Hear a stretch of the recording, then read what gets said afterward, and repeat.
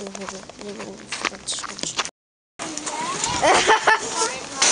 kan finde. En til golf. Ja, den røg ret Kæmpe. Prøv at se, hvor luksus det er.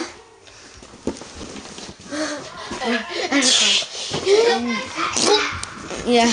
Ja, jeg skal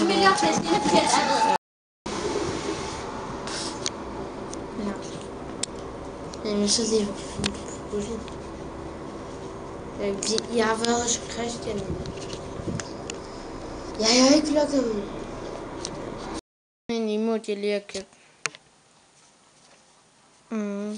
Øh, øh, øh, øh, øh. Øh, Okay, ja. øhm. Jeg ved ikke, hvorfor jeg købte den. Men det gjorde jeg. Så, ja. subscribe and like. I'll see you next time.